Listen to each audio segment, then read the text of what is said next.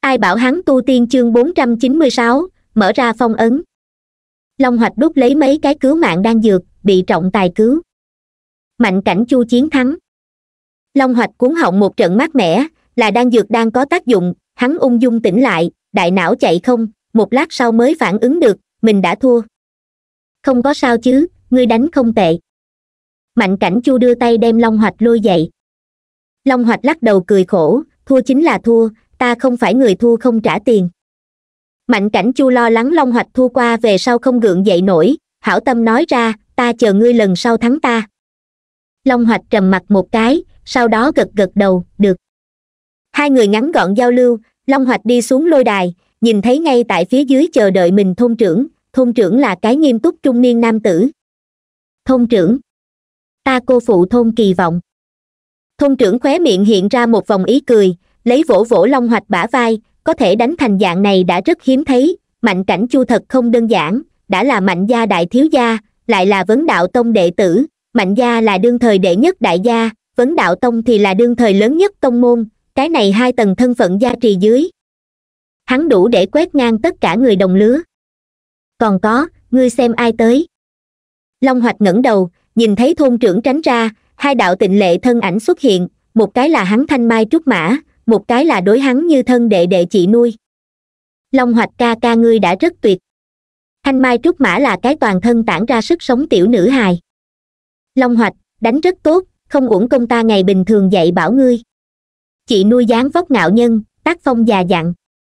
Mọi người. Long hoạch lệ nóng doanh tròng, khóc khóc không thành tiếng, thề nhất định phải sau này trở về tiếp tục khắc khổ tu luyện, không cô phụ mọi người chờ đợi. Cách đó không xa mạnh cảnh chu chấm chấm. Còn có thể lại sau một trận sao, ta muốn cho cái này tiểu tử đến một bộ đan thân nguyền rũ quyền. Lục thiếu giáo chủ tại vạn chúng chú mục dưới, trận thứ hai lôi đài thi đấu sắp bắt đầu. Thiên đình, thiếu giáo chủ. Phi bột tông, khổng hạo. Nhị phẩm tông môn phi bột tông, nội tình nông cạn, tông chủ bất quá luyện hư kỳ tu vi, cho dù là tại nhị phẩm trong tông môn, phi bột tông đều là tên không kinh truyền tồn tại, rất không đáng chú ý bạch minh tại chiến đấu trước đặc địa hiểu rõ mấy cái đối thủ, cái này khổng hạo không đơn giản. Ngươi nhìn hắn yên lặng, như cái nho tu, chiến đấu càng giống là một đầu chưa thuần hóa mảnh thú, còn chưa chiến đấu, điên cùng bộ dáng liền làm đối thủ sợ hãi ba phần. Phi bột tông tông chủ vuốt trâu hài lòng nhìn xem trên lôi đài chú mục khổng hạo.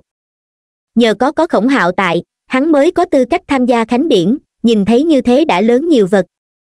Khổng hạo cái này tiểu tử quả nhiên ẩn giấu thực lực khổng hạo trầm mặc ít nói, rất ít cùng người trò chuyện, làm việc khiêm tốn, mỗi khi gặp tông môn thi đấu, khổng hạo lại luôn luôn hiểm lại càng hiểm đoạt được thứ nhất, tựa như cùng thứ hai chênh lệch không lớn cũng không luận tên thứ hai như thế nào đuổi theo, đều không thắng được khổng hạo. Hắn nghĩ đến khổng hạo ẩn giấu thực lực, nhưng không nghĩ tới ẩn giấu đi nhiều như vậy.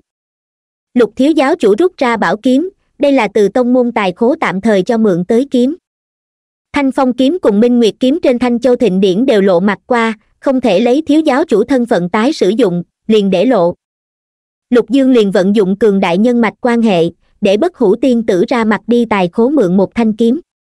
Lục dương đối mặt khổng hạo, nhíu mày, người này thế mà cho hắn một loại cảm giác hết sức nguy hiểm, cho dù là tán công trùng tu đại tu sĩ đều không để cho hắn dâng lên loại cảm giác này.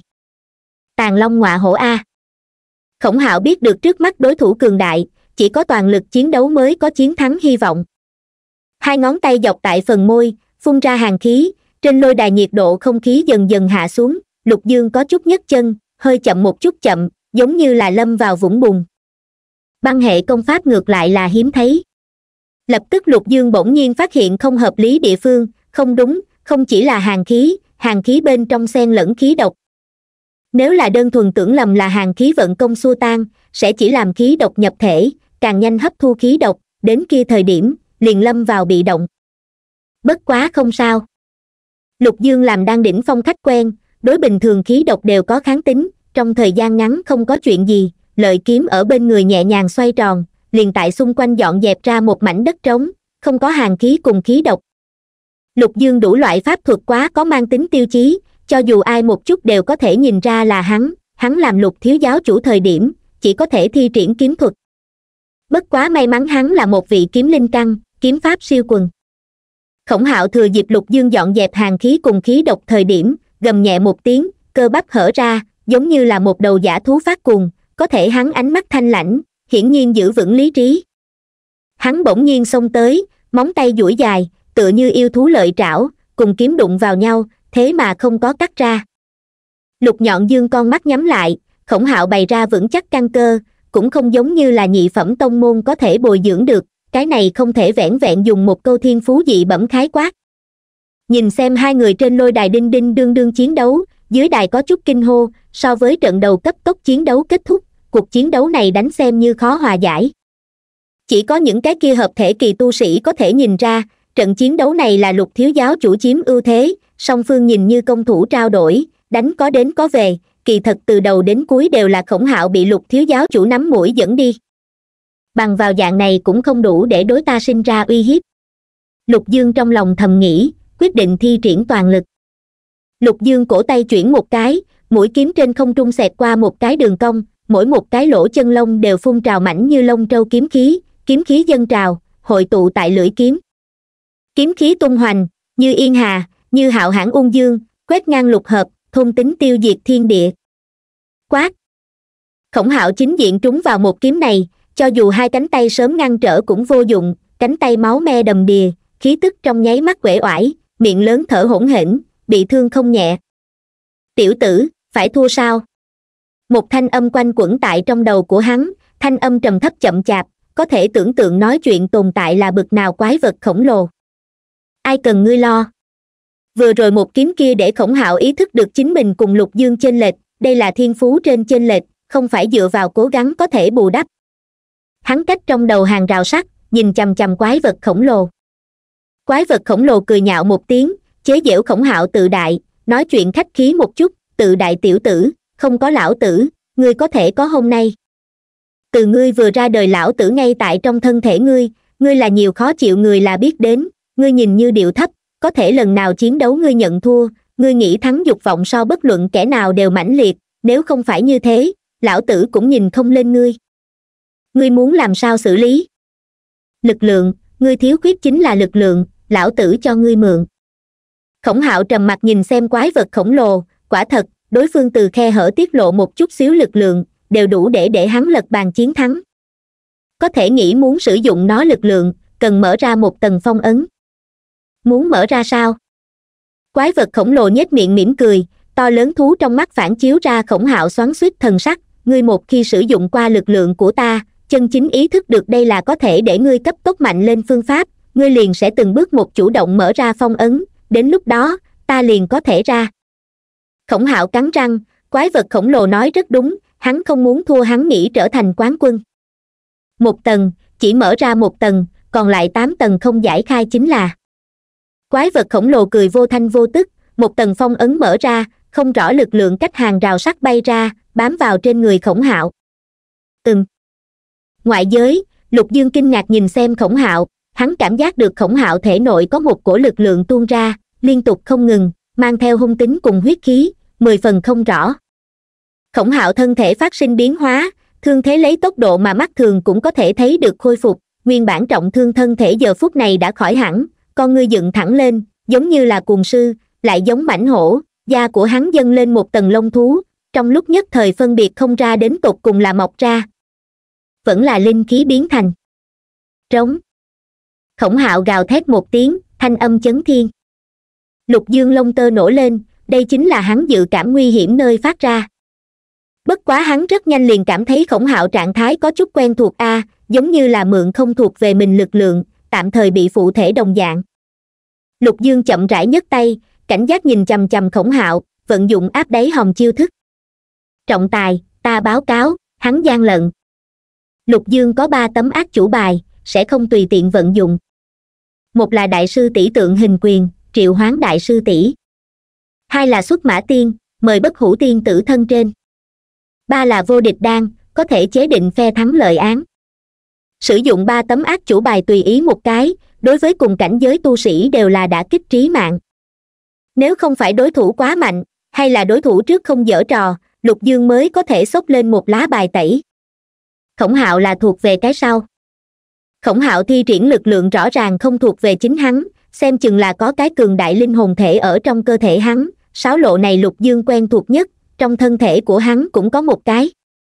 Cái này không có cách nào đánh cái kia cường đại linh hồn thể nói ít hợp thể kỳ cất bước, lục dương cầm đầu cùng người ta đánh. Hắn quả quyết sử dụng vô địch đan, vô địch đan cho ra đáp án cũng rất rõ ràng, cùng hắn dự liệu, hướng trọng tài báo cáo. Đây chính là cái gọi là thiên tài, mượn nhờ ngoại lực cùng ta chiến đấu. Lục thiếu giáo chủ cười lạnh, nếu như dạng này các ngươi đều mặc kệ, trong tay của ta còn có giáo chủ và sư phụ ban cho pháp bảo, độ kiếp kỳ đều gánh không được pháp bảo một kích cân nhắc đến pháp bảo quá siêu quy, lúc này mới không có trong chiến đấu sử dụng, khổng hạo nếu là không vi quy, vậy ta cũng sẽ không cần quản nhiều như vậy. Trọng tài nghe được lục dương báo cáo, sửng sốt một cái, không có kịp phản ứng, hắn coi như gặp lại nhiều biết rộng, cũng chưa từng thấy qua ai mượn nhờ thể nội một cái khác lực lượng linh hồn chiến đấu. Nghe lục dương nói chuyện, hắn mới phát giác được khổng hạo lực lượng có vấn đề, đây là không thuộc về hắn lực lượng. Cái này đương nhiên tính phạm quy bại phương khổng hạo. Khổng hạo vừa định dùng lực lượng mới chiến đấu, chỉ nghe thấy trọng tài tuyên cáo tranh tài kết quả, chán nản xuống đài. Vừa vừa xuống đài, trước hết nhất nghênh đón không phải phi bộc tông tông chủ, mà là các lộ độ kiếp kỳ lão tổ tông. Đều tránh ra, để cho ta ngó ngó oa nhi này trong thân thể có ai. Đoạt xá pháp đều là ta chế định, ta là phương diện này chuyên gia, ta tới trước. Ta tu vi cao nhất, để cho ta tới phi bột tông tông chủ cố tình tiến lên, có thể đã sớm bị đám này đại lão chen đến đằng sau đi. Cái này khí tức giống như là tứ hung a. Nhất khí tôn giả đối khí tức mẫn cảm nhất, trước hết nhất làm ra phán đoán. Tiểu tử, ngươi đừng chống cự, ta đi ngươi linh đài nhìn xem. Nhất khí tôn giả dứt lời, linh đài bay ra một cái tiểu nhân, bay vào khổng hạo linh đài. Hoắc, là cái đại gia hỏa a. Khổng hạo linh đài so cùng cảnh giới lớn hơn nhiều đây cũng không phải là là tu luyện kết quả, mà là bị thể nội quái vật khổng lồ chống ra. Hàng rào sắt đem linh đài một phân thành hai, khối nhỏ chính là khổng hạo hoạt động không gian, khối lớn chính là quái vật khổng lồ phong ấn địa. Hàng rào sắt ở giữa gia trì lấy chín lớp phong ấn, không gì phá nổi, cái kia quái vật khổng lồ chính nhìn chòng chọc vào nhất khí tôn giả, thú trong mắt toát ra nhỏ bé không thể nhận ra hoảng sợ. Quái vật khổng lồ là một đầu núi nhỏ lớn nhỏ hùng sư, lông bầm trắng tinh thon dài giống như là phiêu đảng bông tuyết, theo hơi thở chập trùng, hai cái hướng lên dài răng nanh như là hai thanh sáng như tuyết đao bản rộng, cái đuôi thì là cùng thân thể đồng dạng dài. Nguyên lai là một đầu lão đào ngột. Nhất khí tôn giả cười lạnh, đầu này lão đào ngột thật không đơn giản, độ kiếp kỳ tu vi, liền xem như làm đào ngột nhất tộc tộc trưởng cũng đủ, cũng không biết vì sao bị phong ấn ở nơi này. Đây không phải là cơ hung nha, ta còn tưởng rằng ngươi cạnh tranh tộc trưởng thất bại bị xử lý không nghĩ tới ở chỗ này. Liên tiếp có độ kiếp kỳ bay vào khổng hạo linh đài độ kiếp kỳ thưa thớt, rất nhanh liền có người nhận ra lão đào ngục thân phận. Khổng hạo đời này đều chưa thấy qua nhiều như vậy độ kiếp kỳ. Hắn biết được lão đào ngục tu vi cùng thân phận thời điểm, trong lòng giật mình. Hắn còn tưởng rằng lão đào ngục là hợp thể kỳ, không nghĩ tới là kinh khủng đến cực điểm độ kiếp kỳ. Hắn không cha không mẹ, từ khi có ý thức đến nay lão đào ngột ngay tại trong thân thể của hắn, không biết bị ai phong ấn. Khổng hạo một mực không dám lộ ra lão đào ngột tồn tại, lo lắng đại năng ngấp nghé với hắn, lúc này mới gia nhập tại nhị phẩm trong tông môn đều không đáng chú ý phi bộc tông. Không nghĩ tới a, đến cùng sự tình vẫn là bại lộ. Những này các đại năng sẽ như thế nào đối đãi chính mình? Trông cậy vào lão đào ngột nói thật là không thể nào, độ kiếp kỳ các lão tổ tông hỏi thăm khổng hạo biết đến sự tình kết hợp với bọn hắn chỗ nhớ kỹ liên quan tới lão đào ngột tình báo chải vuốt xảy ra chuyện đại khái mạch lạc. Lão đào ngột cạnh tranh tộc trưởng sau khi thất bại, bị người đuổi giết, nhục thân tiêu diệt, linh hồn bị hao tổn, một đường chạy trốn tới đại hạ địa bàn, có một tên tinh thông phong ấn pháp thuật hợp thể đỉnh phong tu sĩ đem lão đào ngột phong ấn tại khổng hạo trong thân thể. Từ phong ấn trình độ nhìn, cái kia hợp thể đỉnh phong tu sĩ thái độ đối với khổng hạo là thiện lương, chỉ cần khổng hạo thực lực không ngừng mạnh lên liền có thể từng tầng từng tầng để lộ phong ấn, sử dụng lão đào một lực lượng. Ngươi có hai lựa chọn. Nhất khí tôn giả cho khổng hạo chỉ đường. Mở ra phong ấn, chúng ta xuất thủ đem lão đào ngột bắt giữ, tương ứng, chúng ta sẽ cho ngươi ghép đôi thù lao, thiên tài địa bảo, linh bảo đang dược đều có, coi như là mua xuống nó, đây là ổn thỏa nhất phương án. Lão đào ngột là độ kiếp kỳ khó đối phó không giả, nhưng tại tòa ai không phải độ kiếp kỳ, mọi người cùng nhau tiến lên lão đào ngột chỉ có ngoan ngoãn bị đánh phần. Hoặc là ngươi tiếp tục phong ấn lão đào ngột, theo thực lực mạnh lên, từng tầng từng tầng để lộ phong ấn, bất quá ở trong quá trình này, ngươi có bị phản vệ phong hiểm. Ngươi tuyển loại kia. Tại một đám độ kiếp kỳ cùng quan sát trân quý động vật đồng dạng quan sát lão đào ngột thời điểm, tranh tài ngay tại tiến hành đâu vào đấy bên trong. Lan đình sợ hãi mạnh cảnh chu sử dụng đan thân nguyền rũ quyền, chiến đấu sợ hãi rụt rè, bị mạnh cảnh chu đánh bại mạnh cảnh chu thu hoạch được trận chung kết tư cách. Diêm thiên chí nghe theo sư tôn dạy bảo, gặp được ngũ hành tông người liều mạng đánh đánh bại bạch minh, thuận lợi tấn cấp tiến vào vòng bán kết. Trấn ngục tông, diêm thiên chí. Thiên đình giáo, thiếu giáo chủ. Lục dương cùng diêm thiên chí tại vòng bán kết đụng phải. Diêm thiên chí phía sau, thao thiết chiến văn cùng thanh long chiến văn lấp lóe, hai đại yêu thú hư ảnh như ẩn như hiện, cảm giác áp bách mười phần đây là trấn ngục tông đặc hữu chiến văn tu luyện pháp, là trấn ngục tông khai sơn tổ sư một mình sáng tạo pháp môn. Lục dương nhìn thấy hai đại chiến văn, vỗ ra tay tán thưởng, rốt cục đụng phải một cái có ý tứ đối thủ, đã sớm nghe nói trấn ngục tông chiến văn hệ thống chính là nhất tuyệt, giáo chủ đều đối hắn khen không dứt miệng, hôm nay gặp mặt quả thật như thế. Thời kỳ thượng cổ, nhân tộc ta có ở trên mặt bôi lên hoa văn thói quen, hoa văn vẽ thỏa đáng, có thể thu hoạch được vô tận lực lượng là nhân tộc ta ban đầu lúc ứng đối hồng thủy mảnh thú biện pháp. Giáo chủ vốn cho rằng loại này hoa văn đã thất truyền, lại không nghĩ rằng tại cái này thời đại mới. Có người tại hoa văn trên cơ sở sửa cũ thành mới, khai sáng ra chiến văn tu luyện pháp. Giáo chủ nói ra sáng tạo môn này tu luyện pháp người có đại tài, đáng tiếc sinh không gặp thời, sinh ở đại ngu đại hạ giao thế thời đại, nếu là sinh hoạt tại thượng cổ, tất nhiên có thể tranh đoạt tiên nhân chính quả, chiếm được một cái huy hoàng tương lai thanh danh quán triệt của kim. Lục dương vẫn chưa thỏa mãn thở dài, giống như là tại dư vị giáo chủ đối trấn ngục tông khai sơn tổ sư đánh giá. Ghế giám khảo bên trên, khâu tấn an cùng lạc hồng hà kinh ngạc nhìn xem dương đỉnh. Trước đây không nói có trận này a, lục dương cái này tiểu tử đều nhanh đem các ngươi trấn ngục tông tổ sư gia thổi lên trời. Dương đỉnh lúng túng vào đầu, đây không phải là muốn mượn này cơ hội tuyên truyền một cái ta trấn ngục tông nha. Khâu tấn an giận dữ dương đỉnh ngươi tiểu tử thật đàng hoàng một người, làm sao hiện tại cũng sẽ bí mật dở trò. Hắn làm sao lại không nghĩ tới điểm này? Bọn hắn ngũ hành tông cũng nghĩ tuyên truyền chính mình, lần này thiên đình giáo là cỡ nào tốt thổi phòng tông môn cơ hội, liền bạch bạch bỏ qua. Bất ngữ đạo nhân mỗi ngày biên vấn đạo tông truyền kỳ, hiện tại tùy tiện đi một cái trà lâu đều có thể nghe được vấn đạo tông bình thư, vấn đạo tông nổi tiếng gấp bội lật lên trên. Khâu tấn an cũng nghĩ làm như thế đáng tiếc ngũ hành tông không có bất ngữ đạo nhân người tài giỏi như thế. Lạc hồng hà ngược kiểm lại là còn tốt, nguyệt quế tiên cung là nửa ẩn thế tông môn, lại trong môn đều là nữ tu, không cần tuyên truyền nổi tiếng đều so ngũ hành tông, trấn ngục tông cao. Lục tông chủ, hiện tại cũng tuyên truyền chúng ta ngũ hành tông còn kịp sao, thù lao dễ thương lượng. Khâu tấn an hỏi bên cạnh bất hủ tiên tử, tu tiên giới phổ biến nhận biết là thượng cổ thời đại cường thịnh đến cực hạn đều nguyện ý đem tự thân đuổi theo thời cổ đại dính líu quan hệ, có thiên đình giáo tại. Còn không phải tùy tiện nói chút gì liền đuổi theo thời cổ đại dính dáng. Hợp tác hạng mục công việc là lục dương nói, bất hủ tiên tử nào hiểu những thứ này. Nàng cho ngay tại trên lôi đài chiến đấu lục dương truyền âm, lục dương suy tư một lát, cho ra đáp lại. Mặc dù ta bây giờ có thể mượn cơ hội tán dương ngũ hành tông, nói cái gì không hổ là ẩn chứa thiên địa ngũ hành chi lực ngũ hành tông khai sơn tổ sư gia đại tài cái gì? Thời cơ không đúng, dễ dàng cho người ta một loại rất cứng rắn cảm giác. Bất lợi cho dựng nên chúng ta thiên đình giáo danh tiếng. Ngươi nói với khâu tông chủ lần này không được. Lần sau hợp tác với ngũ hành tông. Nha. Trên lôi đài, lục dương đang cùng diêm thiên chí kịch chiến. Trên một vòng diêm thiên chí vì làm tuyên truyền, liều mạng chiến thắng bạch minh, có thể chiến thắng bạch minh, tự nhiên là có chỗ thích hợp. Thao thiết thanh long chính là yêu tộc siêu nhiên vật ngoại đại chủng tộc, nguyên bản kim đan kỳ chỉ có thể văn một loại chiến văn, có thể diêm thiên chí thể chất vô cùng phù hợp chiến văn tu luyện pháp, từ thanh châu thịnh điển sau khi trở về, bế quan tham ngộ, tắm rửa hóa long trì, ngộ ra thanh long chiến văn. Cùng thao thiết chiến văn so ra, thanh long chiến văn xuất hiện thời gian hơi ngắn, còn làm không được thuần thục nắm giữ, nhưng dù cho như thế, cũng đủ để cho lục dương áp lực. Chiến văn chi lực thật đúng là khó đối phó lục dương cắn răng, đây không phải là đọc quảng cáo từ, là thật cảm thấy như vậy. Diêm thiên chí phong cách chiến đấu hung ác, lại đều là nhục thân cận chiến, lục dương cũng không phải thể tu, cùng diêm thiên chí liều mạng là thua thiệt.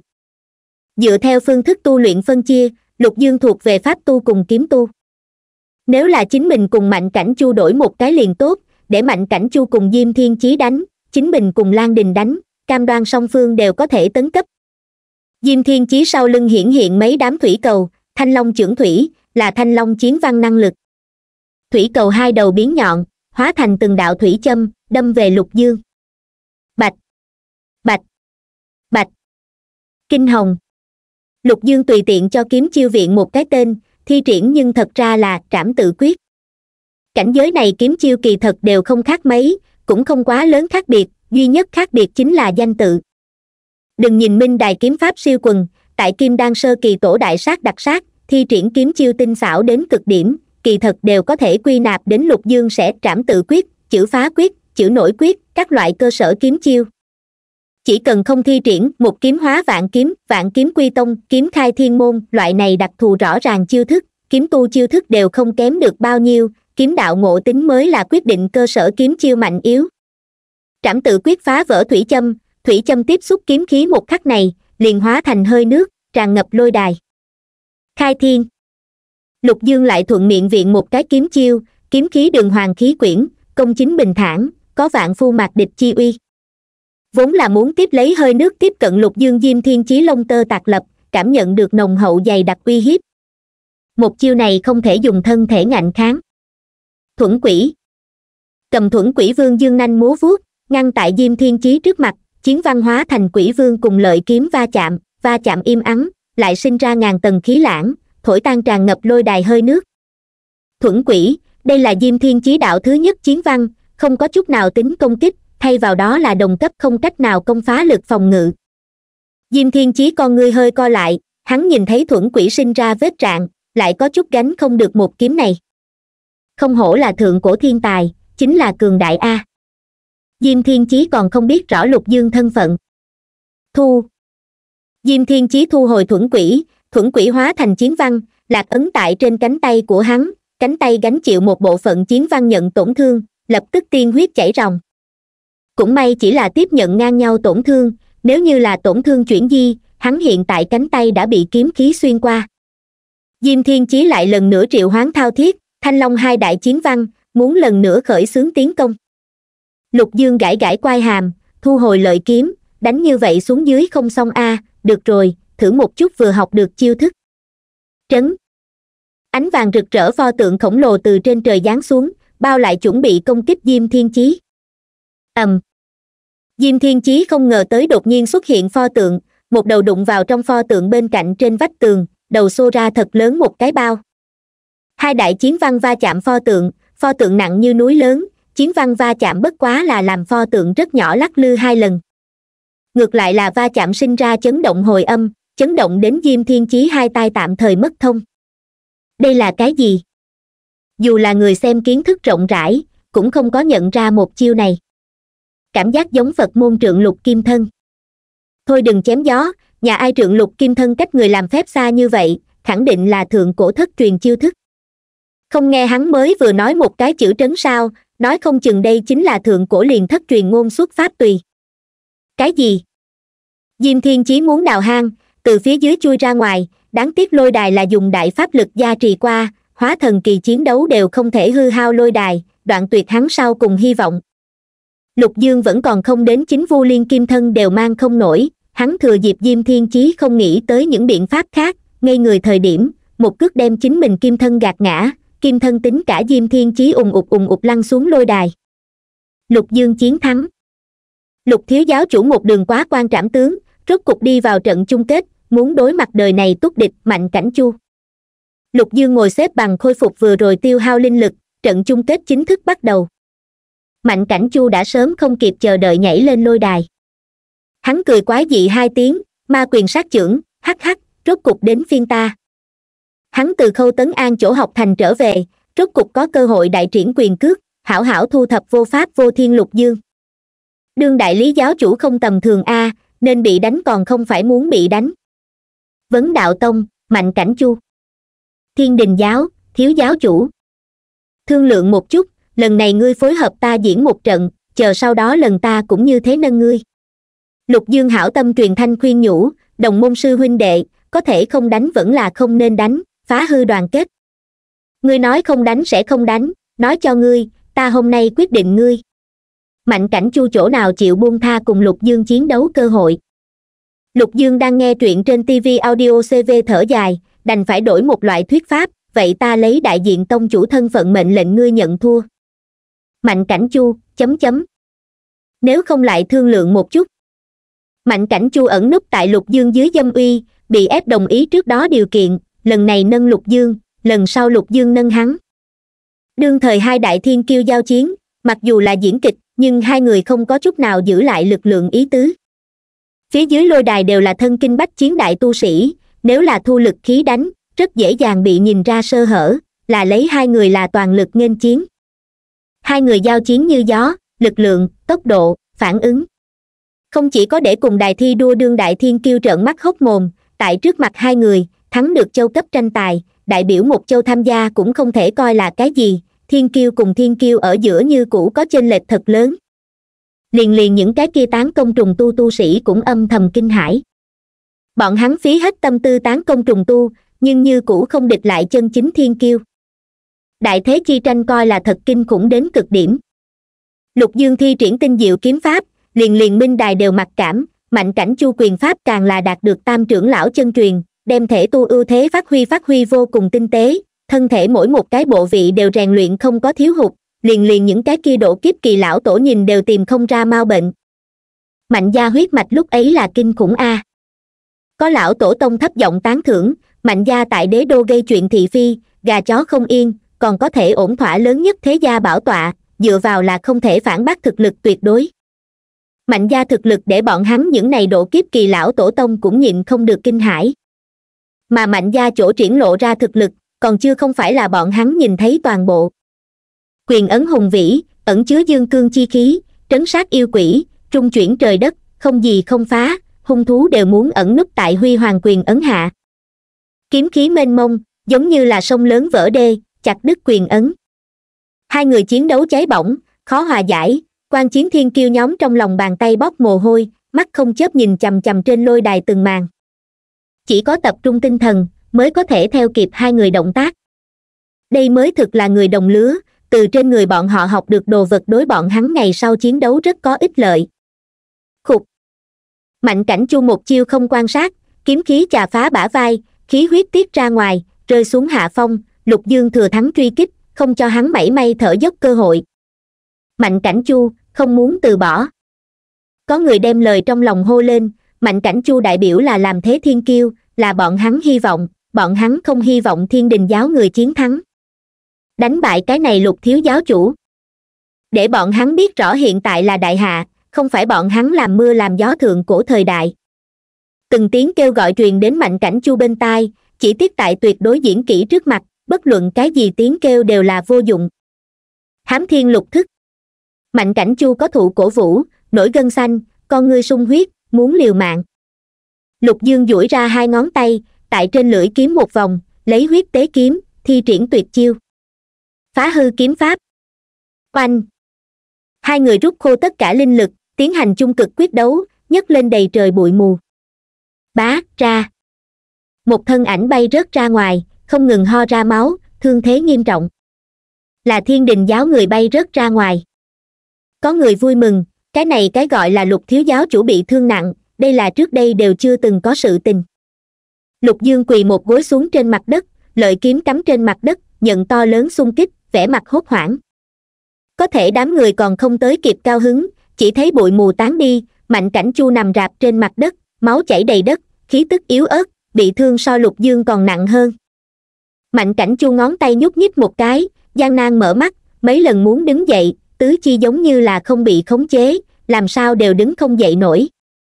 Hắn đành phải không cam lòng từ bỏ đứng dậy. Trái lại lục dương, mặc dù trọng thương quỳ xuống đất, nhưng còn có dư lực cười, có thừa lực nói chuyện. Thắng bại đã phân. Trọng tài cắn răng, để người thời thượng cổ đoạt giải quán quân, đây là đại hạ sĩ nhục, có thể hắn là trọng tài, không thể thiên vị bất kỳ bên nào. Ta tuyên bố, mạnh cảnh chu. Thất bại. Hai chữ cuối cùng tại trong miệng hắn ngậm lấy, run rẩy phế đi hơn nửa ngày kình mới phun ra. Trọng tài tiến lên quan sát mạnh cảnh chu thương thế, nhẹ nhàng thở ra, còn tốt, bị thương rất nặng, nhưng không nguy hiểm đến tính mạng, sẽ không dao động căn cơ. Năm đại thiên vương càng đến trên lôi đài, đỡ lên thiếu giáo chủ. Thiếu giáo chủ, ngươi không sao chứ? Khụ khụ, không chết được, thật sự là một trận thống khoái chiến đấu a.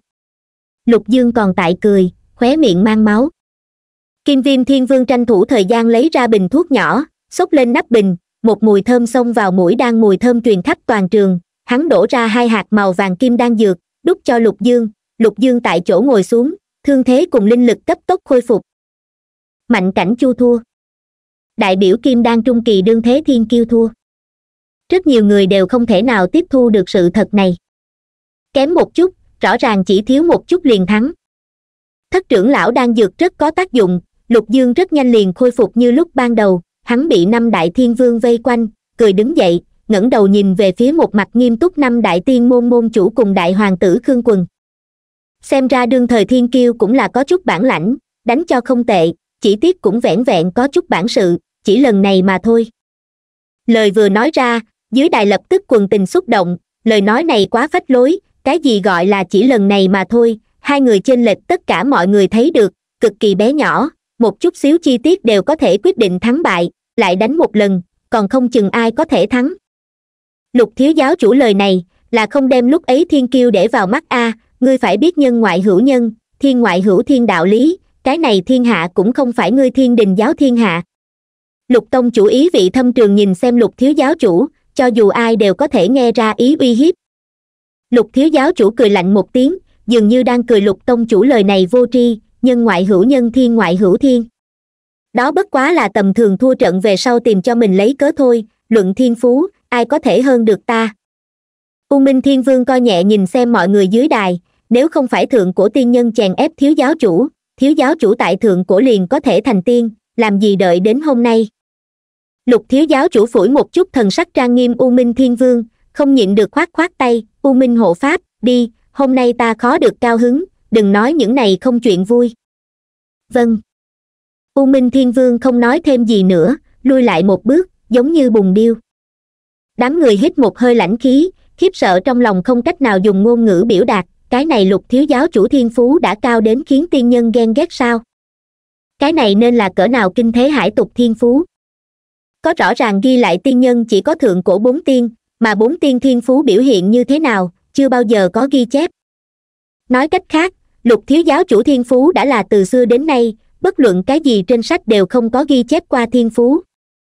Bất quá là tự biên tự diễn thôi, đã lục thiếu giáo chủ tin tưởng như vậy, không ngại cùng ta giao thủ thử một chút. Tại mọi người ngoài ý liệu ánh mắt dưới, lục tông chủ từ nhìn trên đài nhảy xuống, vững vàng rơi vào trên lôi đài. Nói đến lục tông chủ cũng là kim đan trung kỳ, xác thực tính cái đối thủ, chính là giọng điệu này, ta không ưa thích. Lục thiếu giáo chủ đùa bẩn ngón tay chậm chậm nói. Hai người bốn mắt tương đối, giống như là có hoa lửa va chạm, năm vị thiên vương biết điều rút lui, miễn cho quấy rầy thiếu giáo chủ hào hứng. Vậy liền đến. Đến. Lục dương cùng lục dương hai người chiến kịch liệt. Lục tông chủ tinh thông thuật pháp, ngũ hành pháp thuật hạ bút thành văn, thời gian, không gian hai đại pháp thuật đỉnh cao cũng có chỗ đọc lướt qua, càng là có thể làm được quyền pháp hợp nhất, đánh tứ đại tiên môn môn chủ hốt hoảng chạy trốn lục thiếu giáo chủ chủ tu kiếm pháp niên kỷ nhẹ nhàng đối kiếm đạo lĩnh ngộ liền viễn siêu cùng cảnh giới tu sĩ, đuổi sát nguyên anh kỳ. Ai sẽ thắng? Nghe nói cái này lục tông chủ tại thuật pháp phương diện tạo nghệ cực cao, càng là sáng tạo ra không ít độc môn pháp thuật. Tại cảnh giới này sáng tạo pháp thuật, từ xưa đến nay đều không có mấy người. Trên thanh châu thịnh điển, hắn lấy một địch hai, đánh bại bạch minh cùng lan đình hai người, mà không có ai thấy ra hắn ngưng tụ kim đan đến cùng vì sao thắng thua khó mà nói a, ngươi không có nghe cái kia lục thiếu giáo chủ nói, hắn thiên phú chi cao, liền tiên nhân đều chèn ép. Lục dương không hổ là cái thế đại năng, nhất cử nhất động của hắn đều dẫn dắt đám người ánh mắt. Nhất là tứ đại tiên môn môn chủ cùng đại hoàng tử khương quần, muốn nhìn lục dương là thế nào tả hữu hổ bác làm lục tông chủ nhảy xuống lôi đài một khắc này, bất hủ tiên tử liền chủ động đem thân thể tặng cho lục dương, để lục dương khống chế hai cổ thân thể chiến đấu lục dương hảo hảo đánh, ngươi nhất định phải chiến thắng đối diện cái kia gia hỏa, ngươi lần chiến đấu này đại biểu là chúng ta vấn đạo tông. Bất hủ tiên tử đầu tiên là chạy đến lục tông chủ tinh thần không gian, là lục dương cờ tung bay trợ uy, lập tức lại chạy đến lục thiếu giáo chủ tinh thần không gian. Xử lý đối diện cái kia vấn đạo tông, lần này nhất định phải đánh ra chúng ta thiên đình giáo danh khí. Tiên tử ngươi không có việc gì liền nghỉ ngơi đi. A tốt tại bất hủ tiên tử làm đại diện tông chủ, dùng lục dương thân thể tu luyện trong khoảng thời gian này, lục dương tu vi xác thực tiến rất xa, nhất là tinh thần lực phương diện, lại đi trên một cái bậc thang. Trước kia hắn điều khiển hai cổ thân thể, cần tập trung tinh lực, không thể có mảy may phân thần cùng lười biếng. Hắn hôm nay điều khiển hai cổ thân thể, còn có dư lực trấn an bất hủ tiên tử.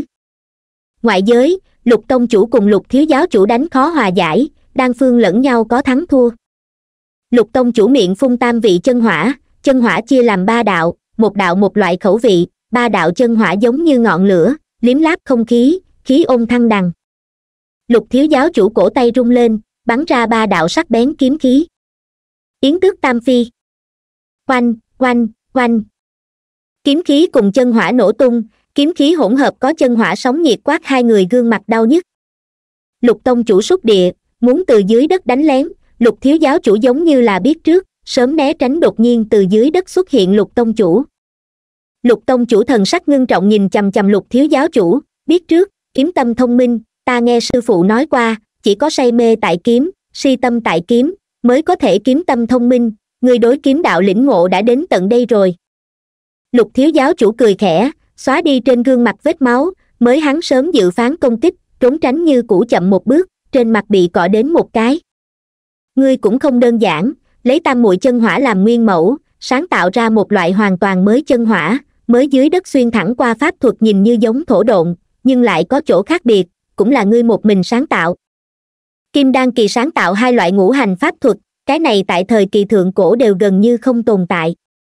Lục tông chủ thân thể bỗng nhiên thu nhỏ, chỉ có cao ba tấc, trên mặt đất nhảy vọt, động tác cực nhanh, trên thân bao khỏa tam vị chân hỏa, vung vẩy la hán quyền thân hình tuy nhỏ, lại cho lục thiếu giáo chủ mang đến lớn lao áp lực, không dám lấy thân thể ngạnh bính, cần lấy kiếm ngăn cản. Thu nhỏ lục tông chủ quyền pháp kinh người, càng có phật âm ba động, trách trời thương dân, nắm tay nhỏ đánh vào kiếm thương, phát ra ken thanh thúy tiếng vang. Lục thiếu giáo chủ kiếm pháp cũng không phải ăn chay, mũi kiếm nhắm ngay lục tông chủ, liền đâm ba lần, mỗi một lần đều bị lục tông chủ hiểm lại càng hiểm tránh thoát đi. Hai người giao thủ trăm hiệp thế mà ai cũng không làm gì được ai. Hai người chiêu chiêu trí mạng, hơi không cẩn thận liền sẽ lạc bại, có thể hai người phản ứng mau lẹ, luôn có thể tại thời gian ngắn nhất tìm kiếm ứng đối phương pháp phá giải, cũng tùy theo phản kích. Công thủ đánh cờ, lục đục với nhau, nhìn dưới đài thiên kiêu ngừng thở, nhìn không chuyển mắt, sợ bỏ lỡ bất kỳ một cái nào chi tiết nhỏ. Lúc này bọn hắn đã quên đi lập trường phân chia, chỉ muốn nhìn trên đài hai người còn có thể làm ra cỡ nào làm cho người kinh ngạc cử động một trăm hai mươi hiệp về sau, hai người đồng thời hướng về sau vừa rút lui, thở điều chỉnh hô hấp, khôi phục linh lực. Mới giao thủ đem hai người linh lực tiêu hao hầu như không còn.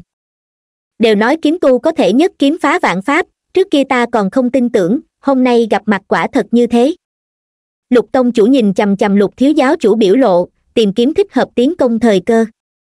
Lục tông chủ quá khen, ta tự hỏi cầm trong tay một kiếm, thiên hạ chi lớn, khắp nơi có thể đi thiên kiêu tuy nhiều, vẫn không kịp ta một kiếm chi uy, lần này cùng lục tông chủ giao thủ mới hiểu ta tiên lộ trên vẫn có ngăn cản người. Bách dược thiên vương nhìn thấy trước mắt một màn, nhịn không được dùng người bên ngoài đều có thể nghe được thanh âm thấp giọng cảm thán, thiếu giáo chủ cho tới bây giờ không có như thế khen qua một người đi. Bốn vị thiên vương gật đầu, thiếu giáo chủ là bậc nào người kiêu ngạo, chỉ có giáo chủ và đậu thiên tôn có thể để cho cúi đầu kính nể nghĩ không ra lần này xuất hành gặp thiếu giáo chủ tha thiết ước mơ đối thủ, khó được a. Đáng tiếc lần này xuất hành ra vội vàng, nếu là đem bốn vị thánh tử mang tới, chỉ sợ trận chiến đấu này lại là một trận khác quan cảnh. Bốn vị thánh tử. Người bên ngoài nghe được từ ngữ này, nhịn không được suy nghĩ, chẳng lẽ nói thiên đình giáo ngoại trừ cái này thiếu giáo chủ, còn có mặt khác bốn vị tuyệt thế thiên tài? Bốn vị thánh tử, dĩ nhiên chính là mạnh cảnh chu, đào yêu diệp, mang cốt lý hạo nhiên. Tần nghiên nghiên trên lý luận cũng là không thiên đình giáo thành viên, bất quá thân phận của nàng bây giờ là tần hạo nhiên chuyển thế. Lục dương lại chính mình giao thủ tám mươi hiệp, bất phân thắng bại, ăn ý dừng tay. Thống khoái, ta còn chưa hề cùng cùng cảnh giới tu sĩ đánh như thế nhẹ nhàng vui vẻ lâm ly. Lục thiếu giáo chủ ngửa mặt lên trời cười to, tùy ý tùy tiện, vô pháp vô thiên, cũng đã không còn dùng kém một bậc ánh mắt đi xem lục tông chủ lục tông chủ mỉm cười đáp lại người ta tái chiến tiếp, chỉ sợ đánh tới ngày mai đều phân không ra thắng bại, chiến đấu đã mất ý nghĩa, không bằng như vậy coi như thôi. Lục thiếu giáo chủ hơi chút suy nghĩ, rất nhanh liền đồng ý lục tông chủ đề nghị. Vậy liền như vậy coi như thôi, là ta xem nhẹ đương thời thiên kiêu, đại thế chi tranh có ngươi tại, nghĩ đến sẽ không tịch mịch. Lục tông chủ vẫn như cũ là bộ kia khiêm tốn tư thái, không mời mà tới là vì vô lễ, thiên đình giáo, mời rời đi thôi bị người đuổi đi, lục thiếu giáo chủ cũng không giận, hắn vung tay lên, quay người liền đi. Năm vị hộ pháp, theo ta rời đi. Rõ. Thiên đình giáo đám người thừa mây mà tới, thừa mây mà về, tại trước mắt bao người, đám mây bay ra vấn đạo tông. Nằm ở phía sau đài chữa thương mạnh cảnh chu thấy cảnh này, tức giận bất bình. Mẹ nó, thiệt thòi lớn. Mạnh huynh, thế nào?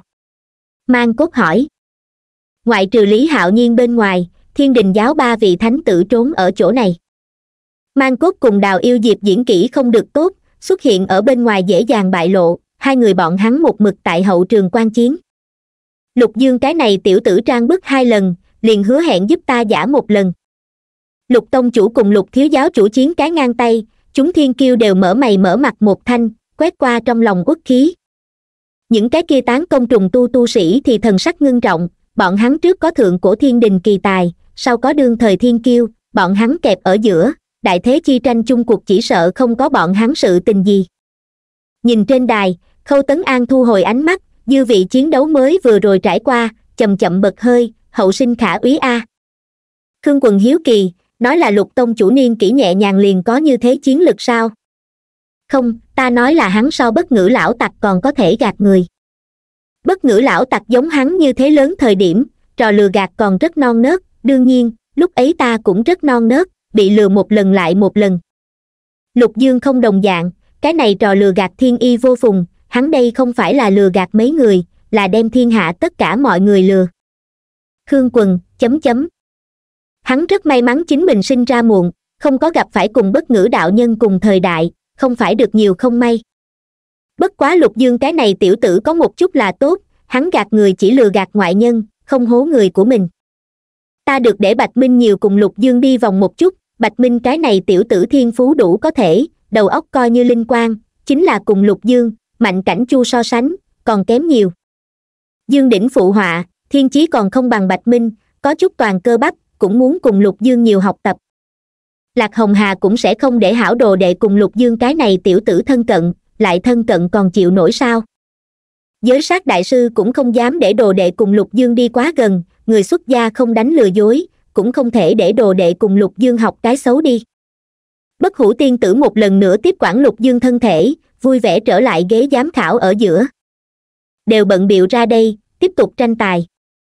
Tranh tài mới tiến hành đến một nửa, đằng sau còn có mấy tổ tranh tài. Tranh tài đều đâu vào đấy thúc đẩy, kim đan hậu kỳ tổ nguyên anh sơ kỳ tổ. Thỉnh thoảng có kinh thế hải tục tu sĩ xuất hiện, cũng không phải chiến lực kinh người, mà là ý nghĩ kinh người. Lạc thủy vệ cùng tiên môn bí mật quan sát ra sân những người này, nào có thể là cổ đại tu sĩ tán công trùng tu, nào có thể là đại năng giả heo ăn thịt hổ, hoặc là cái gì khác yêu thiêu thân, tỉ như khổng hạo loại này thể nội phong ấn lão đào ngột. Bất hủ tiên tử cùng tiên môn môn chủ cũng đang thảo luận khả nghi tu sĩ. Theo tranh tài tiến hành đến cuối cùng danh sách sửa sang lại, chuyện còn lại liền giao cho triều đình xử lý, điều tra những người này cuộc đời. Trải qua dài đến mười ngày đặc sắc đỏ sức, tranh tài kết thúc, vấn đạo tông khánh điển cũng theo đó hạ màn kết thúc. Cuối cùng kết thúc. Lục dương mọc ra một hơi, lần này khánh điển toàn bộ hành trình đều là hắn đang bận việc, bất hủ tiên tử là một điểm bận biệu đều không có giúp đỡ. Nhị đương gia, làm được không tệ. Bất hủ tiên tử không keo kiệt miệng khen ngợi lục dương không dám giành công, vội vàng khách khí nói ra, may mắn mà có tiên tử dùng người vô phương, bắt lấy một người vào chỗ chết dùng. Lục tông chủ, chờ ngày sau đi vào đế đô, nhất định phải đến ta phủ thượng, ta phải thật tốt chiêu đãi chiêu đãi ngươi. Đại hoàng tử nhìn ra lục dương là một nhân tài, ngày sau từ chối đế vị thời điểm là cái lớn giúp đỡ. Lại càng không cần phải nói lục tông chủ còn có thể thân thiết xưng hô vân chi là vân nha đầu, quan hệ này hắn cũng không dám hướng suy nghĩ sâu xa khánh điển kết thúc, cái cuối cùng chia của khâu đang tiến hành. Lạc hồng hà tại mọi người chen chút dưới, móc ra bao khỏa nghiêm nghiêm thật thật bảo hạp. Động tác điểm nhẹ, đừng đụng hỏng bảo hạp. Đây là ta tiên cung chí bảo, không phải nhà ngươi hộp hóa trang. Lạc hồng hà khởi động bảo hạp bảo hạp bắn ra một đạo chùm ánh sáng, đem mọi người tất cả đều thu nhập trong hộp. Bảo hạp bên trong, đại ngu tu sĩ còn tại liều mạng va chạm hàng rào, ba vị độ kiếp kỳ liên thủ chiêu thức kinh thiên động địa, có thể đối mặt bị vân chi một giọt máu phong ấn bảo hạp, không làm nên chuyện gì. Mọi người đừng sợ, quốc sư đại nhân còn ở bên ngoài, nói không chừng bên ngoài bây giờ đã đánh nhau, quốc sư đại nhân sẽ đến cứu chúng ta. Hắc bạch tôn giả cho đám người cổ động. Hắn tính toán thời gian khánh điển nhanh kết thúc, chính là quốc sư đại nhân xuất thủ tốt cơ hội. Ngươi nhìn, phong ấn mở ra. Hắc bạch tôn giả chỉ vào cách đó không xa ánh sáng ngạc nhiên hô, đại ngu tu sĩ trong lòng một lần nữa dấy lên hy vọng. Nào có thể đoán được phong ấn giải trừ về sau, mặt bọn hắn đúng là cùng hạ sủi cảo đồng dạng đại hạ tu sĩ. Ta tỏa tâm tông tại cầm nã thời điểm xuất lực không ít, nên đạt được một cái đại ngu tu sĩ. Ai ai ai, lão lý ngươi quên tranh tài thời điểm ngươi đem đại ngu tu sĩ đều bại bởi ta phá hư phái rồi. Nói chớ nói lung tung a, đánh bạc phạm pháp, ai đánh cược với ngươi bác? Ngươi muốn mặt sao? Câu. Nghe ta một lời khuyên, mọi người ngồi xuống từ từ nói chuyện làm sao chia đại ngu tu sĩ. Làm tân tấn độ kiếp kỳ, lộ bác thiên chủ động đứng ra tổ chức trật tự. Liên lụy đến đám người lợi ích, mọi người tranh luận không ngớt, làm cho mặt đỏ tới mang tai, may mắn có lộ bác thiên ra mặt, lúc này mới dời đi đám người lực chú ý. Đám người tập kích thu thập dừng lại lộ bác thiên, nhất khí tôn giả lúc này mới ra mặt tổ chức đại cục thảo luận kết quả lục dương nghe được ngáp không ngớt, không quan tâm kết quả cuối cùng, chỉ biết rõ đem đại ngu tu sĩ bên trong mạnh nhất hắc bạch tôn giả phân cho vấn đạo tông. Về phần còn lại, để bọn hắn tiếp tục thảo luận. Đúng rồi tôn giả, các ngươi quyết định xử lý như thế nào lão đào ngột? Lục dương ly khai bảo hạp trước hỏi thăm nhất khí tôn giả. Hắn ngay lúc đó thân phận là lục thiếu giáo chủ, không tiện chú ý khổng hạo tình huống khổng hạo cái này tiểu tử nói tiếp tục phong ấn lão đào ngột, muốn cùng lão đào ngột sống chung hòa bình, hắn tin tưởng cuối cùng nhất định có thể cảm hóa lão đào ngột, làm bằng hữu. Được chưa, cũng là một loại lựa chọn. Lục dương ít nhiều có chút lo lắng khổng hạo. Lão đào ngột so bất hủ tiên tử kém xa, bất hủ tiên tử người mỹ tâm thiện, người gặp người thích, người vật vô hại, sẽ không hại chính mình. Lão đào ngột loại kia nhiều năm lão yêu, không chừng lần nào liền tính toán khổng hạo bất quá cái này dù sao cũng là chính khổng hạo lựa chọn, hắn không dễ can thiệp. Đại sư tỷ mang theo hắc bạch tôn giả cùng lục dương ly khai bảo hạp. Nói đến quốc sư đến cùng đi đâu rồi? Ly khai bảo hạp về sau, lục dương chợt nhớ tới quốc sư từ đầu tới đuôi đều không có lộ diện, đại sư tỷ cũng không tìm được. Hắn vốn cho rằng sẽ ở khánh điển cuối cùng gây sự tình, còn cảnh giác nửa ngày, cũng không có động tĩnh. Quái sự, chẳng lẽ phát giác được không đúng, chạy trước lục dương trong lòng tự nhủ người quốc sư này thật đúng là khó đối phó. Từng đến quán đồ nướng rồi. Lục dương ngẩng đầu một cái, vừa vặn đi vào quán đồ nướng, lưu sư phó cùng cao sư phó chính thu thập giá nướng, tiểu ngũ, tiểu lục, tiểu thất, ba quỷ thu thập bát đũa, giáo chủ quét rác đôn địa, một bộ đóng cửa chi cảnh. Còn muốn ăn điểm đồ vật tới, xem người ta dạng này, cũng đừng một lần nữa khai trương.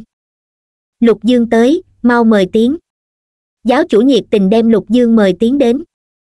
Tại vấn đạo tông, lục dương chính là chỗ dựa của bọn họ. Nói đến ta làm sao đối lục dương nhiệt tình như vậy, là bởi vì hắn là vân chi tiểu sư đệ sao, luôn cảm giác có khác cái gì nguyên nhân. Là ai căn dặn chính mình tới, muốn đối lục dương khách khí, muốn so đối với hắn còn khách khí. Là ai cùng mình nói qua lời này? Gặp giáo chủ sững sờ, lục dương có chút hiếu kỳ, có chuyện gì không? Giáo chủ lấy lại tinh thần, ý thức được thất lễ, a, không có gì, mời ngồi. Lục dương nhìn một vòng, cảm giác thiếu đi cái người, bất hủ tiên nhân đây, tại trại chăn nuôi sao? Ai? Nhìn thấy giáo chủ vẻ mặt vô cùng nghi hoặc thần sắc, lục dương so với hắn còn nghi hoặc. Bất hủ tiên nhân a, các ngươi bất hủ giáo tín ngưỡng, gọi bố yếu kiểm. Giáo chủ nhíu mày, bất hủ tiên nhân đúng là của chúng ta tín ngưỡng, nhưng nghe ngươi ý tứ, hắn tại chúng ta nơi này đây là đương nhiên, bất hủ tiên nhân bị các ngươi bất hủ giáo phục sinh về sau, bất hủ tiên nhân chỉ có linh hồn không có nhục thể, cần tìm một bộ thích hợp nhục thân, ngươi liền triệu tập bất hủ giáo tất cả trúc cơ kỳ tiến hành đỏ sức tỷ thí, ta cuối cùng đạt được thắng lợi, tại ngươi dẫn đầu hạ gặp được bất hủ tiên nhân. Sau đó bất hủ tiên nhân ngay tại tinh thần của ta không gian bị đánh dừng lại, đại sư tỷ cũng liên lạc triều đình, đem các ngươi bất hủ giáo tận diệt, mấy người các ngươi bị đại sư tỷ luyện hóa thành ma cọp vồ lục dương càng nói giáo chủ chân mày nhíu càng lợi hại, lục dương chắc chắn sẽ không dùng loại chuyện này lừa gạt chính mình, là chính mình ký ức sai lầm, hay là hắn ký ức sai lầm. Giáo chủ gọi tới lưu sư phó, cao sư phó bọn người, hướng bọn hắn xác minh bất hủ tiên nhân có hay không hiện thế. Từ hai vị đồ nướng sư phụ, cho tới ba con diễm quỷ, đều phủ nhận gặp qua bất hủ tiên nhân. Tại ta trong ấn tượng, trước đây triệu tập bất hủ giáo tất cả trúc cơ tiến hành đọ sức là nghĩ tuyển chọn thanh niên tài tuấn, làm bất hủ giáo cán bộ quân dự bị, ngươi đúng là trận kia đỏ sức bên trong đạt được thắng lợi, ta đang muốn vì ngươi trao giải, triều đình liền dẫn người xông tới, đem chúng ta bất hủ giáo toàn bộ tóm lấy. Sau đó chúng ta mấy cái liền bị vân chi đại nhân luyện hóa thành ma cọp vồ, ở chỗ này chuộc tội. Toàn bộ quá trình từ đầu đến cuối đều không có bất hủ tiên nhân. Vậy các ngươi một mực để cho ta đem quán đồ nướng làm lớn làm mạnh, tại ngoại giới mở đại lý đem quán đồ nướng khai biến toàn bộ đại lục đây, cái mục tiêu này không phải cũng là bất hủ tiên nhân cho các ngươi quyết định. Giáo chủ lại lần nữa phủ nhận, cũng không phải là như thế, là ta cảm thấy cùng hắn ở chỗ này ngơ ngơ ngác ngác cuối cùng cả đời, không bằng tìm kiếm mục tiêu, liền mời lục dương đạo hữu hỗ trợ, đem quán đồ nướng lái đi ra ngoài. Lục dương đạo hữu ngươi lúc này mới tìm tới cửu u giáo, để bọn hắn giúp chúng ta mở đại lý. Lục dương lại nghĩ tới một đầu chứng minh bất hủ tiên nhân tồn tại qua chứng cứ vậy các ngươi bất hủ tiên nhân giống đây, trước kia các ngươi bất hủ tiên nhân giống rất mơ hồ, liền nam nữ đều không phân biệt được, bất hủ tiên nhân xuất hiện về sau, các ngươi đem pho tượng toàn bộ đổi thành bất hủ tiên nhân chân chính bộ dáng. Pho tượng trong tay còn bưng lấy một bản hình luật. Không phải như vậy, là ta có một ngày bế quan nhập định, trong mông lung nhìn thấy bất hủ tiên nhân hướng ta đi tới, hắn bưng lấy một bản hình luật, một mặt hiền hòa nói với ta ta làm rất tốt, chúng ta làm đều rất tốt mấy ngày nữa hắn liền có thể chân chính ra đời. Sau khi tỉnh lại, ta ý thức được đây là tiên nhân báo mộng, là tiên duyên. Lúc này mới thay đổi pho tượng. Kết quả không đợi đến đâu một ngày, liền bị các ngươi vấn đạo tông cùng triều đình đem chúng ta bất hủ giáo xét nhà. Bất hủ tiên nhân thường xuyên tại quán đồ nướng lộ diện, toàn bộ thương nhai người đều biết hắn, chỉ bất quá đám bọn hắn cũng không biết rõ bất hủ tiên nhân thân phận. Lục dương hỏi sát vách cửa hàng bọn hắn cũng đối bất hủ tiên nhân không có ấn tượng. Lục dương còn tìm đến mấy tên đi ngang qua sư huynh sư tỷ, bọn hắn là quán đồ nướng khách quen, đều nói chưa thấy qua bất hủ tiên nhân. Thật không có bất hủ tiên nhân. Một vòng hỏi thăm đến, lục dương cũng hoài nghi là chính mình ký ức xuất hiện sai lầm, bị người cắm vào một đoạn không tồn tại ký ức. Tiên tử, tỉnh, xảy ra chuyện. Lục dương lắc lư tỉnh đang ngủ bất hủ tiên tử. Khánh điển kết thúc về sau bất hủ tiên tử lấy thể xác tinh thần rã rời, dùng não quá độ làm lý do, tại tinh thần không gian bên trong nằm ngáy o o. Dù sao lục dương là không muốn minh bạch bất hủ tiên tử toàn bộ hành trình ngồi trên khán đài, ngoại trừ cùng mình diễn một trận đối thủ hí kịch bên ngoài có cái gì có thể mệt đến nàng. Làm gì a, bất hủ tiên tử nghe được tiếng hô hoáng, miệng bên trong lầm bầm, âm cuối kéo rất dài. Nàng dùng quyết tâm rất lớn đem con mắt mở ra một cái khe nhỏ, mắt nhìn lục dương lại quay đầu ngủ trở về. Để bản tông chủ ngủ tiếp sẽ. Nói nàng liền nhắm mắt lại. Bất hủ tiên nhân mất tích. Cái gì đồ chơi, tam đương gia mất tích. Bất hủ tiên tử bỗng nhiên ngồi dậy, bọn hắn bất hủ nhất mạch có ba người, đại đương gia là nàng, nhị đương gia là lục dương, tam đương gia là bất hủ tiên nhân, ba người bình quân tu vi đều là bán tiên, có thể nói cường thịnh đến cực điểm, bây giờ thiếu một cái bất hủ tiên nhân giống như bình quân tu vi cũng là bán tiên. Xem ra tam đương gia cũng không phải rất trọng yếu. Không đúng, hắn êm đẹp làm sao lại mất tích? Bất hủ tiên tử phản ứng ngược lại là để lục dương nhẹ nhàng thở ra, xem ra không phải mình ký ức xảy ra vấn đề, mà là tất cả mọi người trong đầu đều cắt đi bất hủ tiên nhân ký ức, còn cắm vào một đoạn những ký ức khác. Lục dương đem chính mình phát hiện mánh khóe, đến trước mắt điều tra kết quả nói rõ chi tiết một lần. Từng ngược lại là có chút ý tứ, nghe giống như là trúng nhân quả pháp thuật, bất quá loại này đồ chơi nhỏ đối bản tiên tới nói không tính là gì ngươi có bản tiên phù hộ, cũng không có chịu ảnh hưởng. Nhân quả pháp thuật. Nhân quả tối nghĩa, lấy lục dương cảnh giới trước mắt, còn không cần lý giải những thứ này. Một người từ khi sinh ra tới, không, phải nói từ trong bụng bắt đầu, đản sinh linh hồn về sau, liền cùng thế giới sinh ra liên hệ. Bất hủ tiên tử vì càng dễ bàn hơn minh biến ra một trương giấy trắng, tại trên tờ giấy trắng vẽ một vòng tròn. Cái này vòng ngươi vừa ra đời ngươi. Tại vòng tròn cách đó không xa lại vẽ một vòng tròn. Đây là người khác. Một đầu tuyến đem hai cái vòng tròn liên kết bắt đầu. Ngươi sinh ra về sau, người khác thấy được ngươi, vậy ngươi liền cùng hắn sinh ra nhân quả, đồng lý, ngươi thấy được hắn, hai người các ngươi đồng dạng sinh ra nhân quả. Các ngươi là người xa lạ, nhân quả rất nhạt, hắn nhìn ngươi một chút rất nhanh liền đem ngươi quên mất, hai người các ngươi liền không có nhân quả. Nếu ngươi vừa sinh ra tới, trời sinh thần lực, đem đối phương chân đạp gãy, cứ như vậy hắn khẳng định liền sẽ không quên ngươi, vậy các ngươi nhân quả liền sẽ làm sâu sắc. Nói, liên kết hai cái vòng tròn tuyến to thêm làm sâu sắc, phi thường dễ thấy. Theo ngươi lớn lên, tiếp xúc người càng đến càng nhiều, ngươi cùng thế giới này sinh ra nhân quả cũng càng nhiều. Ngươi khi còn bé bạn chơi tiến vào vấn đạo tông về sau tiếp xúc đồng môn, trưởng bối, đây đều là cùng ngươi sinh ra mật thiết nhân quả tồn tại. Có chút tu sĩ vì sao lựa chọn tị thế tu hành, cũng là bởi vì tại trong hồng trần sinh ra nhân quả quá nhiều, nhân quả quá nhiều bất lợi cho tu hành. Khi tất cả người đều quên ngươi tồn tại, những người này cùng ngươi nhân quả liền không còn tồn tại, cũng chính là tam đương gia bây giờ gặp phải tình huống. Trước đó lục dương không có phát giác, hiện tại kiểu nói này lục dương mới phát hiện bất hủ tiên nhân hàng thế đến nay, cùng chung quanh tiếp xúc cứ như vậy nhiều. Bất hủ tiên nhân sinh ra tiếp xúc bất hủ giáo cao tầng, sau đó tiếp xúc chính mình, bất hủ tiên tử, đại sư tỷ, lại sau đó chính là đi vào vấn đạo tông, tiếp xúc thương nhai người cùng vấn đạo tông đệ tử. Chỉ cần chặt đứt những này tiếp xúc vết tích, chặt đứt nhân quả, tất cả mọi người quên hoặc là dùng mới ký ức thay thế, người này liền cùng toàn bộ thế giới cũng không có liên hệ.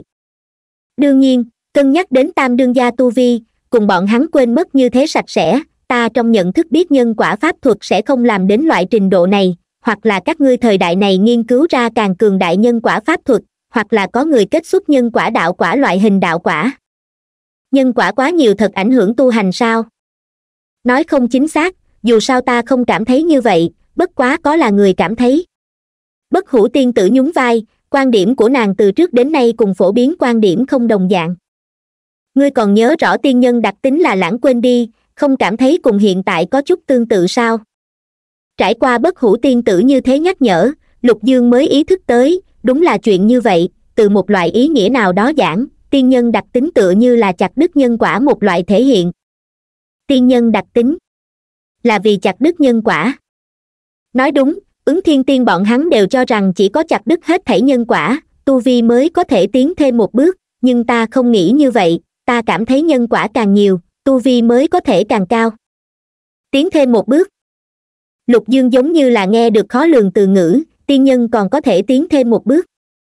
Chúng ta dùng năm mai đạo quả suy tính qua, trên lý luận là có thể được, bất quá ai cũng không thành công, ai cũng không biết rõ đến tột cùng có thể hay không lại phóng ra một bước. Cửu trọng tiên là cái thứ nhất thành tiên, tối thiểu nhất chúng ta năm người bên trong không thành công, chúng ta trước đó cũng không ai thành công tiên nhân đặc tính nhưng thật ra là ứng thiên tiên bọn hắn xưng hô, bốn người bọn họ trước thành tiên thành tiên ngưng tụ đạo quả thời điểm, bọn hắn tại đạo quả đặc tính trên lựa chọn lãng quên, lúc này mới không có trải qua ta quyết định, đem lãng quên gọi là tiên nhân đặc tính. Ta là cái cuối cùng thành tiên thành tiên thời điểm không có lựa chọn lãng quên, cho nên ta không có tiên nhân đặc tính. Cho nên nói tiên nhân đặc tính cũng không phải là tiên nhân nhất định đặc tính, mà là mỗi cái tiên nhân khác biệt lựa chọn kết quả đúng, ngươi nhìn quốc vận người nắm giữ cái kia tiên nhân, hắn cũng lựa chọn lãng quên đặc tính. Có thể hắn đạo quả không phải cùng quốc vận chi lực, cùng đại hạ có quan hệ sao? Trên người hắn nhân quả nặng nề, không ai bằng, làm sao lại lựa chọn đầu này đạo lộ? Rất đơn giản a, hắn muốn tiến thêm một bước, đến thời điểm thay đổi nhân quả tiếp nhận người không phải rồi. Ngươi không phải mới vừa cũng đã nói, tam đương gia pho tượng nơi phát ra, vốn là tam đương gia tồn tại bằng chứng tam đương gia cùng hắn pho tượng tồn tại nhân quả, bây giờ bị thay đổi thành giáo chủ nằm mơ, giáo chủ và tam đương gia pho tượng sinh ra nhân quả. Tam đương gia ký kết quán đồ nướng làm lớn làm mạnh mục tiêu, quán đồ nướng đủ loại hành vi đều là tuân theo cái mục tiêu này tiến hành, tam đương gia cùng về sau hết thảy hành vi sinh ra nhân quả, hiện tại sửa đổi là giáo chủ ký kết mục tiêu, cũng chính là giáo chủ tiếp nhận đây hết thảy hành vi nhân quả. Đây chính là thay đổi nhân quả tiếp nhận người thể hiện thay thế cũng là lãng quên một loại phương thức. Lục dương mơ hồ trong đó mò tới manh mối, có thể bất hủ tiên tử nói quá nhiều, manh mối tự hồ có rất nhiều, ngược lại không có chỗ xuống tay. Được rồi, không nói cái này, trước mau cứu tam đương gia. Làm sao cứu? Lục dương không hiểu, hắn hiện tại liền bất hủ tiên nhân tung tích đều không tìm được. Bất hủ tiên tử chống nạnh, sai sử lục dương, đi đem vân nha đầu kêu đến, nào có thuộc hạ không làm việc để bản tông chủ làm việc đạo lý. Bức bách tại đại diện tông chủ dâm uy, lục dương đành phải đi tù phong tìm kiếm đại sư tỷ. Đại sư tỷ ngay tại tù phong ra hỏi hắc bạch tôn giả. Lục dương đi vào tù phong, đại sư tỷ đang dùng roi cuộc hắc bạch tôn giả. Hắc bạch tôn giả nhìn cùng lão đầu, thể cốt cũng rất cứng rắn, đau kêu to cũng không thấy bị quất chết. Tiểu sư đệ, có chuyện gì sao? Đại sư tỷ dừng tay, roi trên không trung quan cái không hưởng xếp thành ba mươi phần trăm giảm giá, giữ tại trong tay, động tác thành thạo. Là như vậy. Lục dương đem tự mình phát hiện tình huống, cùng bất hủ tiên tử phỏng đoán nói một lần. Hắc bạch tôn giả ở một bên nghe nghe được hải hùng khiếp vía, hắn trọng đạo nghiên cứu cả một đời đều không có nghiên cứu ra được quốc sư đại nhân đạo quả hình thức ban đầu là cái gì, đối phương làm sao dăm ba câu liền đã xác định. Nghe bọn hắn ý tứ, vấn đạo tông cũng có bán tiên quốc sư đại nhân đang cùng hắn ác chiến. Mà lại vì cái gì mục tiêu của bọn họ chuyến này, chỉ có kim đan kỳ lục dương sẽ biết những chuyện này. Vấn đạo tông đến cùng là cái quỷ gì địa phương? Tiền bối, mời đi ra. Đại sư tỷ mặt không thay đổi mời ra bất hủ tiên tử. Bất hủ tiên tử giống như là phạm sai lầm hài tử, nhìn thấy đại sư tỷ sợ hãi rụt rè. Có thể nàng nghĩ lại, không đúng, nàng là đại diện tông chủ, nàng sợ cái gì? Đại sư tỷ tâm bình khí hòa nhìn xem cúi đầu bất hủ tiên tử, ta nên nói với tiền bối qua, lục dương còn nhỏ, tu vi cũng không đủ, tiên nhân, đạo quả loại hình sự tình cách hắn quá xa xôi, đừng bảo là những chuyện này, để tránh mơ tưởng xa vời, ảnh hưởng tu hành, ngươi lúc này nói nhiều lắm. Ta sai rồi. Bất hủ tiên tử thân là đại diện tông chủ co được giảng được, có lỗi liền nhận. Không biết tiền bối muốn như thế nào tìm kiếm bị xóa đi nhân quả bất hủ tiên nhân đại sư tỷ tự nhiên cũng còn nhớ rõ bất hủ tiên nhân tồn tại. Hắc hắc, người khác khó tìm tìm tam đương gia dễ dàng. Bất hủ tiên tử cười đắc ý, là đối tự thân đạo quả kiêu ngạo, để lục dương lấy ra từ quán đồ nướng cầm tới bất hủ tiên nhân pho tượng, sau đó đọc lên tam đương gia xưng hô cùng danh tự. Bất hủ tiên nhân bố yếu kiểm. Lâm thời dựng không gian bên trong, hai thân ảnh thở hồng hộc. Thật khó đối phó a cháu trai này đạo quả hình thức ban đầu đến cùng là cái gì?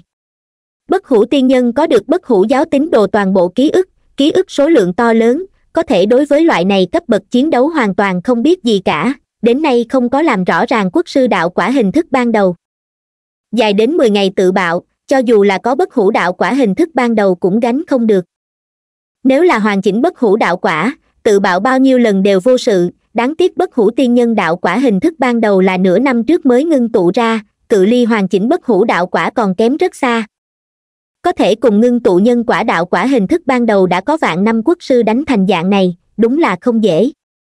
Bất hủ tiên nhân chật vật, quốc sư so với hắn còn chật vật, chính hắn đều đếm không hết này mười ngày bị tạt qua bao nhiêu lần, toàn thân trên dưới không có một khối tốt địa phương. Mạnh hơn đối thủ hắn đụng phải, có thể khó chơi như vậy đối thủ hắn là lần đầu tiên gặp nửa đường hắn không phải là không có muốn chạy trốn, chỉ khi nào chính mình biến mất, xóa đi nhân quả, cái này gia hỏa liền tự bạo, nổ không gian rung chuyển, một cái khe đều mở không ra. Cái gì vận khí, trực tiếp đụng phải vấn đạo tông chân chính hộ đạo người. Dù là quốc sư tốt tính, gặp được loại này tình huống đều muốn chửi ầm lên. Chân chính hộ đạo người. Ta mới đến vấn đạo tông nửa năm a. Nửa năm. Ngươi đường đường bán tiên cường giả uống tại loại này địa phương nhỏ. Nơi này có cái gì đáng giá ngươi đợi? Ta nhận lầm, ta không nên đối ngươi xuất thủ. Dạng này, chúng ta không đánh nhau thì không quen biết. Ngươi nếu là không có địa phương đi, có thể tới chúng ta đại ngu, ta có biện pháp giúp ngươi khôi phục nhục thân. Quốc sư còn tưởng rằng đối phương đợi ở chỗ này là vì khôi phục nhục thân, giữa bọn hắn không cần thiết đã sinh đã tử, có thể hợp tác. Bất hủ tiên nhân thần sắc bất thiện nhìn xem quốc sư cảm thấy người này thật là âm hiểm, ta là tù phạm, ngươi còn xúi dục ta chạy trốn. Tù phạm. Quốc sư rùng mình, ai có thể bắt giam một vị bán tiên? Bỗng nhiên, bất hủ tiên nhân sững sờ, khóe miệng lộ ra mỉm cười, hắn cảm ứng được đại đương gia đang kêu gọi chính mình. Hắn thừa dịp quốc sư ngây người sát na, trong nháy mắt xuất thủ, gắt gao ôm lấy quốc sư. Quốc sư nói thầm một tiếng không ổn, để hắn bắt lấy cơ hội gần cự ly tự bạo dĩ vãng bất hủ tiên nhân tự bạo, hắn đều dựa vào nhân quả đạo quả hình thức ban đầu tác dụng, lẫn mất xa xa. Nếu như bị gần cự ly nổ mấy lần, đã sớm đem hắn nổ chết. Nào có thể đoán được bất hủ tiên nhân cũng không có lựa chọn tự bạo, sau lưng của hắn xuất hiện một đạo cổng không gian phi, hắn ôm quốc sư hướng về sau rút lui một bước. Bịch. Hai vị bán tiên cấp cường giả đồng thời rơi xuống đến tù phong quốc sư một mặt mờ mịt nhìn xem thần sắc lạnh lùng đại sư tỷ cùng cười xấu xa bất hủ tiên tử. Nếu thấy hay thì nhớ like và đăng ký kênh để ủng hộ mình nha.